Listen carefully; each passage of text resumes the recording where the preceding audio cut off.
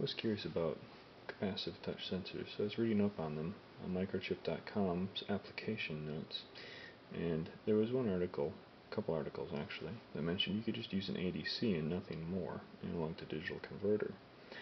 So let me show you real quick. That's all I'm doing.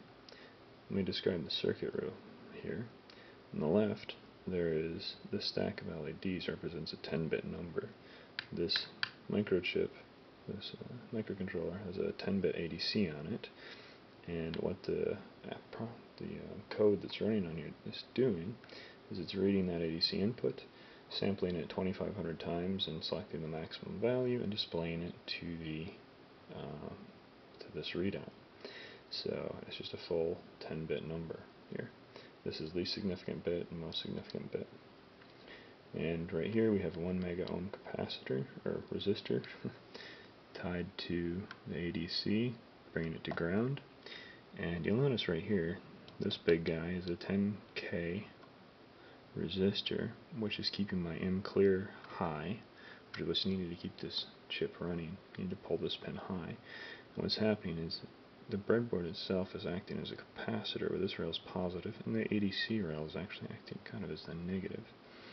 And you can see that the circuit, the breadboard itself, and potentially the traces within the microcontroller, uh, as they run parallel to each other, has a capacitance which reads out here at a value of 4.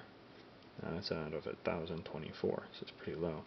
Now as I touch the circular pad over here, this pad is just a coil of wire, nothing else. You can see the readout.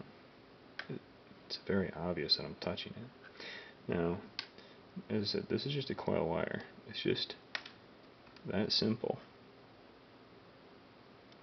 And notice, I don't even need that. I just touch this wire. But see how it only gets one green? Whereas when I use this pad, I get a higher readout value oops, if I put it in the right hole, you get a higher readout because there's more surface area to act as a capacitor. Now I noticed something interesting. If I touch the lead of this 1 mega ohm resistor, look at that, look how strong that readout is, tripping the most significant bits up here. That's nearly 5 volts of this reading. So if I remove this wire completely, all I have to do is touch this lead. Here, I'm pretty sure my skin's actually acting as a dielectric, so it's incredibly thin compared to going through all the rubber that's on this wire. So, do you need to even pull yourself to ground? You don't. Look at this. So this is the simplest capacitive touch sensor I'm aware of. It's just a wire going into an ADC next to a line that's pulled to 5 volts. I'm just touching the insulation.